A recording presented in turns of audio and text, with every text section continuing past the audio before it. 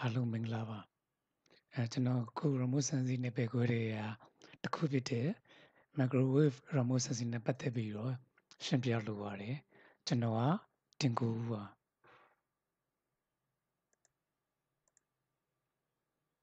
ကျွန်တော်ရဲ့ lecture မှာ principle of microwave remote sensing structure of microwave system radar imaging and geometry of SAR image reconstruction of SAR data interferometric SAR နဲ့ SAR polarimetry စတဲ့အကြောင်းအရာတွေပါဝင်ပါတယ်ပထမဆုံးအနေနဲ့ principle of microwave remote sensing နဲ့ပတ်သက်ပြီးတော့ရှင်းပြလိုပါတယ်ဒီ optical remote sensing data တွေကအကန့်အသတ်တချို့ရှိပါတယ်ဥပမာအားဖြင့်နေ့ဘက်မှာ data တွေမရယူနိုင်တာဒီနေကို illumination source အနေနဲ့မိခုနေရစတဲ့ကန့်သက်တွေရှိပါတယ်အဲ့ဒီကန့်သက်တွေကိုကျော်လွှားဖို့အတွက်ကျွန်တော်တို့ဒီ microwave remote sensing ကိုအသုံးပြုနိုင်ပါတယ်ဒီ microwave remote sensing မှာ passive microwave remote sensing active microwave remote sensing ဆိုပြီးတော့နှစ်မျိုးရှိပါတယ်ဒီ passive microwave remote sensing active microwave remote sensing နဲ့နိုင်စာမယ်ဆိုရင်ပိုပြီးတော့ခြေပြတ်နဲ့ အဲ wavelength range ကိုကျွန်တော်တို့အသုံးချပါတယ်ဒီအပေါ် wavelength အားတော့ကျွန်တော်တို့ဒီဒီ little microwave spectrum မှာဒီဒီ microwave reaching ရဲ့ range ဖြစ်ပါတယ်ကျွန်တော်တို့1 mm နဲ့ပြီး1 meter ရှိပါတယ်ဒါကတော့ frequency range ဖြစ်ပါတယ် microwave reaching ရဲ့ frequency range ဖြစ်ပါတယ်အဲ0.3 GHz ကနေပြီးတော့300 GHz အထိရှိပါတယ်ဒါကတော့ကျွန်တော်တို့ active microwave remote sensing မှာသုံးတဲ့ကျွန်တော်တို့ဘန်တွေရဲ့နာမည်ဖြစ်ပါတယ်အဲ K band X band C band L band B band စရှိတဲ့ဘန်တွေဖြစ်ပါတယ်အဲဒါကတော့ reader base category နဲ့ပတ်သက်ပြီးတော့ရှင်းပြမှာဖြစ်ပါတယ်ဒီ surface category ကတော့နောက်တော့အပြင်ကျွန်တော်တို့ diffuse category ဖြစ်ပါတယ် surface category ကကျွန်တော်တို့ target ရဲ့ surface ကိုရက်ခံပြီးတဲ့အခါမှာ surface category ဖြစ်ပါတယ် surface category နဲ့အဲပတ်သက်ဆက်နွယ်နေရတော့ဒီ set surface category ဖြစ်ပါတယ် set surface category ကတော့ကျွန်တော် target ကို target ရဲ့ surface ကိုရက်ခတ်ပြီးအဲ surface ကို true for ဖြတ်တန်းသွားတဲ့အခါမှာကျွန်တော်တို့ set surface category ဖြစ်ပါတယ်။ဘာဖြစ်လို့လဲဆိုတော့ကျွန်တော်တို့ microwave တွေကကျွန်တော်တို့ဒီ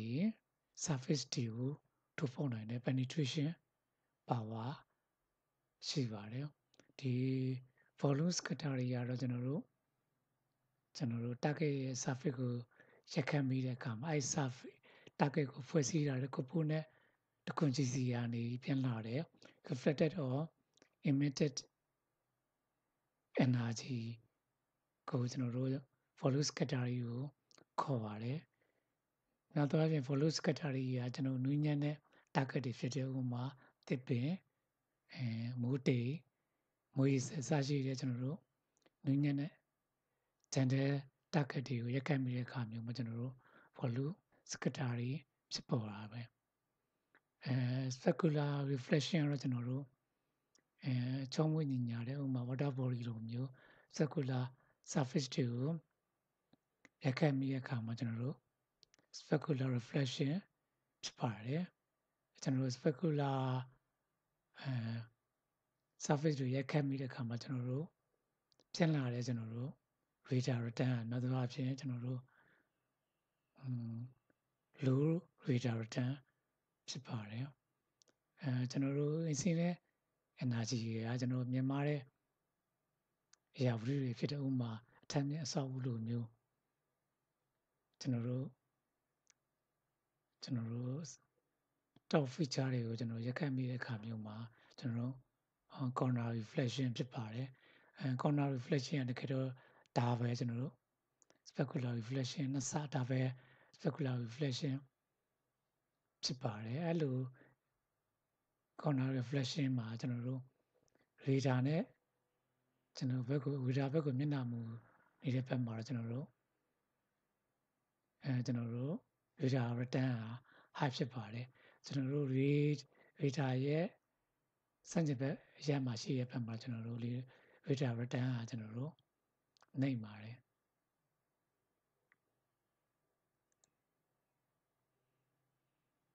နောက် attenuation ရော microwave signal ကျွန်တော် microwave signal signal ကို တာစီနောက်ချက်နေရာနဲ့ပတ်သက်ပြီးတော့ရှင်းပြလိုပါတယ်ကျွန်တော်တို့အဲဒီ attenuation ရဲ့ပမာဏဒီ frequency ပေါ်မှာအဓိကအမူတည်ပါ frequency မြင့်လေကျွန်တော်တို့ attenuation ပမာဏမြတ်ပြလေးဖြစ်ပါတယ်ဒီပုံမှာဆိုရင်ဖြင့်ကျွန်တော် frequency နဲ့ specific attenuation နှစ်ခုရဲ့ကျွန်တော်တို့ relationship ကိုဖော်ပြပါတယ်အဲကျွန်တော်တို့ဒီမိုးရေချိန်လက်မတွေပုံမှာလဲဒီအဲဒီ attenuation ပမာဏအနေများအာမူတည်ပါတယ်ကျွန်တော်တို့မိုးရေချိန်မြင်မာလေကျွန်တော်တို့အဲ attenuation amount of attenuation ပုံများလေဖြစ်ပါတယ်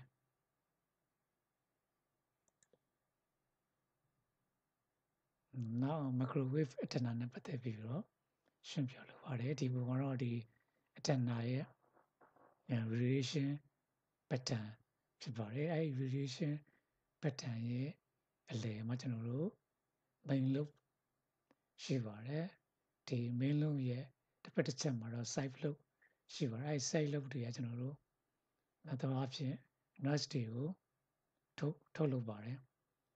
ဒီ main lobe မှာဒီ radiative power 3 decibel တဲ့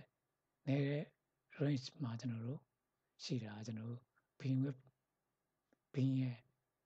အဲကျွန်တော်တို့ radar beam ရဲ့အခြေဖြစ်ပါတယ်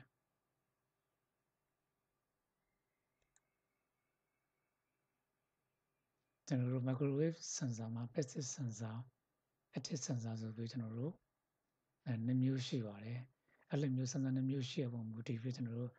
passive remote sensing active remote sensing အစရှိသဖြင့်ခွဲခြားထားတာဖြစ်ပါတယ်ကျွန်တော်တို့အဲ passive sensor မှာတော့ instrument အနေနဲ့အဲ microwave radiometer ပါဝင်ပါတယ်ကျွန်တော်တို့ active sensor မှာတော့ကျွန်တော်တို့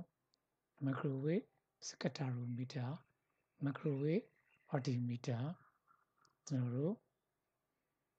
image radar ဆိုပြီး instrument တွေပေါက်ဆက်ပါဝင်ပါတယ်ဒီမတူညီတဲ့ instrument တွေကကျွန်တော်တို့ဒီအဲမတူညီရဲ့ target တွေကိုကျွန်တော်တို့ detect လုပ်ပြီးတော့ကျွန်တော်တို့ record လုပ်ပါတယ်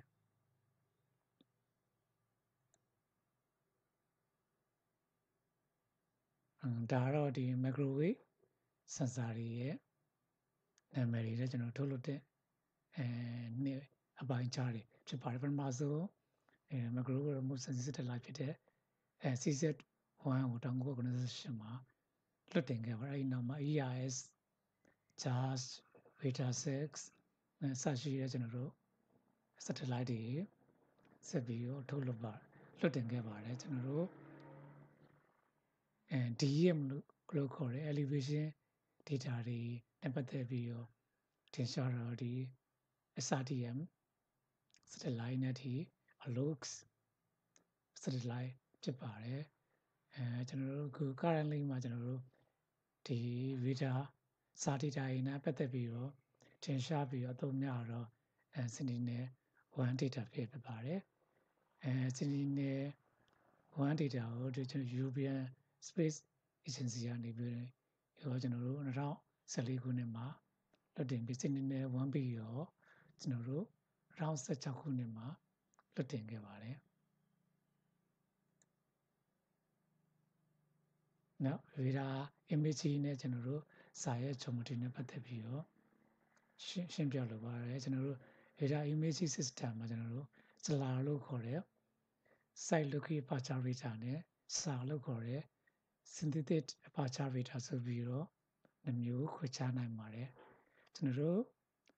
site locate aperture radar ကို real aperture radar လို့လည်းခေါ်ပါတယ်ကျွန်တော်တို့ SLAR မှာကျွန်တော်တို့အဲ real aperture antenna တစ်ခုပါဝင်ပါတယ်အဲစာ image တွေရဲ့ resolution အဲ့ဒီအတန်နာရဲ့ရွယ်စားပုံမှာအဓိကအဲမူတည်ပါတယ်ပြီးတော့စာ image ရဲ့ resolution ကိုကျွန်တော်တို့ range direction မှာရှိရဲ့ဒီ pass ရဲ့ length အရှိကျွန်တော်တို့အစင်းမ direction မှာရှိတဲ့အဲ beam ရဲ့အခြေ beam width အဲ့နှစ်ခုနဲ့သတ်မှတ်ပါတယ်အဲကျွန်တော်တို့ဒီအစင်းမ direction ကတော့ဒီ flight ရဲ့ direction ရဲ့အပြိုင်တရှိပါတယ်ဒီ range direction ကတော့ဒီအစင်းမ direction နဲ့တောင်းမှန်အနေထားတရှိပါတယ်အဲဆိုတော့ပြောခဲ့သလိုကျွန်တော်တို့ radar image တွေရဲ့အဲ resolution ကကျွန်တော်တို့အဲ့အတနာရဲ့အရွယ်စမောက်မှာမူတည်ပါတယ်ဒါပေမဲ့အဲ့ဒီအတနာရဲ့ site ကိုချဲဖို့အတွက်ကျတော့ကျွန်တော်တို့အကန့်အသတ်တွေရှိပါတယ်အဲ့လိုအကန့်အသတ်တွေရှိရတဲ့ကျွန်တော်တို့လောင်းအတနာကျွန်တော်တို့အဲရွယ်စားချင်းပါတဲ့အတနာတစ်ခုကို stimulation ဒီဒီစာ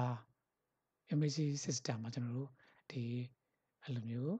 ရှည်လျားတဲ့အတဏ္ဍာတစ်ခုကိုကျွန်တော်တို့ stimulation อืมလုပ်ယူပါတယ်အဲ့လိုမျိုးရှည်လျားတဲ့အတဏ္ဍာတွေရယူထားတယ်ဒီ radar image ရဲ့ resolution ဟာပုံမကောင်းမွန်ပါတယ်အားကြောင့်မလို့ကျွန်တော်တို့အဲစာ image ရာဒီနေ့ခေတ်မှာပို့ပြီးတော့အသုံးများပါတယ်အဲဒီပုံမှာဆိုရင်ပြဒီဒီကတော့ရဲ့ ပါချာဖြစ်ပါတယ်ဒီ ls ကတော့ကျွန်တော်တို့စနစ်တဲ့ပါချာဖြစ်ပါတယ်ဒီ beta ကတော့အဲ real beam ဖြစ်ပြီးတော့ဒီ beta s ကတော့တင်းနေတဲ့ beam width ဖြစ်ပါတယ်ဒီ h ကတော့ high ဖြစ်ပါတယ်ကျွန်တော်တို့ data ls ls ကတော့အစမ်းမ resolution ဖြစ်ပြီးဒီ file ကတော့ကျွန်တော်တို့ off နေတာ anchor ဖြစ်ပါတယ်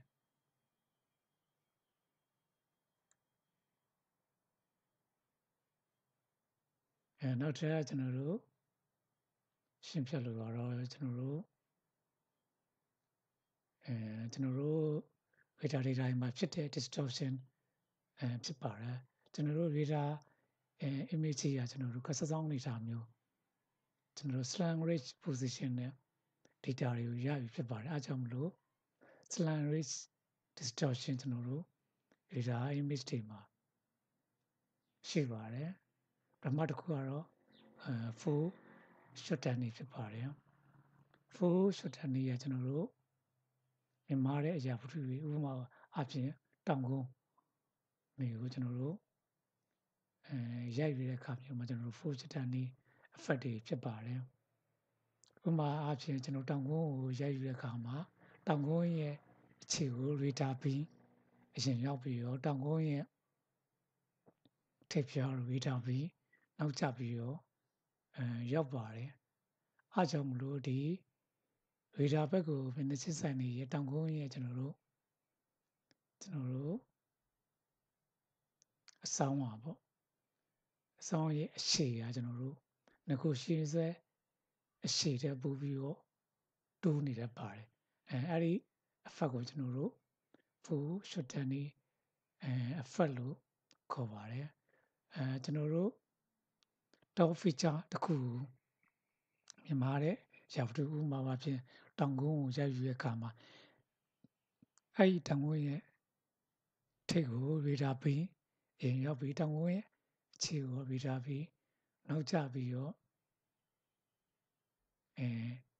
ရောက်တဲ့အခါမျိုးရှိပါတယ်အဲ့လိုမျိုးအခြေအနေမျိုးမှာကျွန်တော်တို့ ဒီတောင်ကုန်းရဲ့ထိပ်ဟာကျွန်တော်တို့ဝေဒါဘက်ကိုငကို original position ကနေပြီးတော့ဝေဒါဘက်ကိုရွေ့သွားတာမျိုးဖြစ်ပါတယ်အဲအဲ့လိုမျိုး distortion ကိုကျွန်တော်တို့၄ over effect ကြောင့်အဲ့လိုမျိုး distortion တွေဖြစ်ပေါ်ဖြစ်ပေါ်ပါတယ်နောက်တစ်ခုကတော့ကျွန်တော်တို့ radar shadowing ဖြစ်ပါတယ် ဒီ radar shadowing ကဒီ full shot တန်ဒီကြောင့်ရောအဲလေးကိုပါကြောင့်တစ်ခုစလုံးကြောင့်ဖြစ်ပါတယ်ကျွန်တော်တို့ beta shadowing ကကျွန်တော်တို့ topographic disturbance ကျွန်တော် topography ရဲ့နောက်ဆက်မှုကြောင့်ဖြစ်ပါတယ်ဒီပုံမှာဆိုရင်ဖြင့်ဒီ topographic disturbance ဒီလိုမျိုးနေရာမျိုးတွေမှာအဲ beta signal တွေမရောက်ပါဘူးအဲ beta signal မရောက်တဲ့အတွက်ကျွန်တော်တို့ beta return ပြန်မလာပါဘူး beta return ပြန်မလာတဲ့ခါမျိုးမှာကျွန်တော်တို့ beta စာ image တွေမှာကျွန်တော်တို့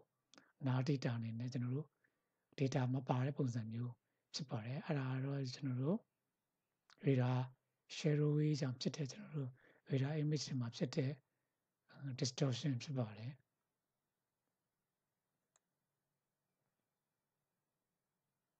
ဒီ radar image တွေရဲ့ထူးခြားချက်ကတော့ကျွန်တော်တို့အဆက်ပြောက် အမုံမွားပုံစံရှိရဲ့အဲ noise ဖြစ်ပါတယ်အဲ့ဒီရဲ့ noise ဆရာကျွန်တော်တို့ဒီ image segmentation နဲ့ classification အရေးသွေးတွေကို short ချပြီးတော့ image interpretation ကိုကျွန်တော်တို့ရုပ်ထွေးမှုကိုဖြစ်ပေါ်စေပါတယ်စာ image ကိုအဆင့်အဆင့်အပြင်ကျွန်တော်တို့ reconstruct အဲလုပ်နိုင်ပါတယ်ပထမတစ်ခုကတော့အဲ geocode ဖြစ်ပါတယ်အဲ geo ကုတ်တီကတော့ကျွန်တော်တို့အဲ geometric correction နဲ့အလားတန်တူပါတယ်ဒီ geo ကုတ်တီဆိုတာတော့ဒီအစင်းမဲ့ range coordinate system ကို conventional georeference coordinate system ပြောင်းလဲခြင်းအပြင် data return ကို migrate လုပ်ခြင်းဖြစ်ပါတယ်နောက်တစ်ခုကတော့ကျွန်တော်တို့ equalization ရော topographic image effect ဖြစ်ပါတယ်စစဖော်ပြခဲ့တဲ့ full shutdown နေကျွန်တော်တို့လေးခုပါကျွန်တော်တို့ radar share စတဲ့ effect တွေကိုကျွန်တော်တို့ equalize လုပ်ခြင်းအောင်ကျွန်တော်တို့ကျွန်တော်တို့ equalization ကို topographic image effects ပြုလုပ်ခြင်းဖြစ်ပါတယ် ဒါကတော့ geocoding process ကိုဖော်ပြတာဖြစ်ပါတယ်ဒါကတော့ range direction ဖြစ်ပြီးဒါကတော့ azimuth direction ဖြစ်ပါတယ်ကျွန်တော်တို့ range compression ပြုလုပ်တယ်ဆိုတော့ကျွန်တော်တို့ range direction အတိုင်း data compression လုပ်တာဖြစ်ပါတယ်ဒါကတော့ compress လုပ်ထားတဲ့ data ဖြစ်ပါတယ် data compress ဖြစ်သွားပါတယ်အဲဒီ compress data တွေကိုကျွန်တော်တို့ rate direction အတိုင်းမှာ migrate လုပ်ထား rate လုပ်ထားကျွန်တော်တို့ rate migration ဖြစ်ပါတယ်ကျွန်တော်တို့သူ့ရဲ့ data ရဲ့ position ပြောင်းတော့ပါတယ်ဒါကတော့ market လောက်ထားတဲ့ data ဖြစ်ပါတယ်အဲ့ market လောက်ထားတဲ့ data ကိုတက်ပြီးအစင်မတ် direction ဒါတော့အစင်မတ် direction ဖြစ်ပါတယ်အဲ့ direction တိုင်း compression လုပ်တဲ့အခါမှာဒီလိုမျိုး data ကျွန်တော်တို့ compress data ရလာပြီဒါတော့နောက်ဆုံးကျွန်တော်တို့ final complex final ကျွန်တော်တို့ geo geo coded data ဖြစ်ပါတယ်ဒါတော့ geo code ရဲ့ process သုံးခုသုံးခုဖြစ်ပါတယ် နောက် interferometric sound နဲ့ပတ်သက်ပြီးတော့ရှင်းပြလိုပါတယ်အဲကျွန်တော်တို့ဒီ microwave တွေမှာရှိတဲ့ phase difference တွေကိုတိုင်းတာခြင်းအားဖြင့်ကျွန်တော်တို့ radar တွေကိုအသုံးချပြီးတော့နေမနာသင်ပြနေရဲ့အမြင့်ကိုခံမှန်းတာကျွန်တော်တို့ interferometry ဖြစ်ပါတယ်ကျွန်တော်တို့အဲ့လိုမျိုးတိုင်းတာတာမှာကျွန်တော်တို့ platform တစ်ခုရနေပြီးတော့ attender နှ စ်ခုဒါနှစ်ခု pass တစ်ခုတွေကနေပြီးတော့ကျွန်တော်တို့အဲ interferometric စာလို့ခေါ်တဲ့ answer တွေကို generate လုပ်နိုင်ပါလို့မျိုး generate လုပ်ထားတဲ့ answer data တွေကိုကျွန်တော်တို့ single pass interfero interferometry လို့ခေါ်ပါတယ်အဲ့လိုမျိုးဖွဲ့နေစံစာတစ်ခုရဲ့ pass နှစ်ခုဒါမှမဟုတ်စံစာနှစ်ခု pass နှစ်ခုကနေပြီးတော့ generate လုပ်ထားတဲ့ answer ကကျွန်တော်တို့ two pass ကျွန်တော်တို့ interferometry လို့ခေါ်ပါတယ်ဒီ answer လို့တို့ခေါ်တဲ့ differential စာ interferometry ရော interferogram နှစ်ခုကနေပြီးတော့ generate လုပ်နိုင်ပါတယ်ကျွန်တော်တို့ပထမ interferometry ကတော့ကျွန်တော်တို့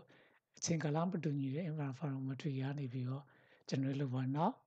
အဲ coherent topographic interferometry ကို generate လုပ်ပါအဲ့ဒီလက်လုံနည်းအားဖြင့်ကျွန်တော်တို့ဒီအစာကိုကျွန်တော်တို့လွှတ်ယူနိုင်ပါတယ်ကျွန်တော်တို့အဲ inter အဲ radar imaging မှာကျွန်တော်တို့ horizontal polarization vertical polarization နှစ်ခုကနေပြီးတော့ microwave radiation တွေကိုထုတ်လုပ်ပါတယ်အဲဒီ transmit polarization receive polarization တွေကို analysis လုပ်တာကျွန်တော်တို့စာ polarimetry ဖြစ်ပါတယ်အဲ polarization combination နှစ်ခုရှိပါတယ်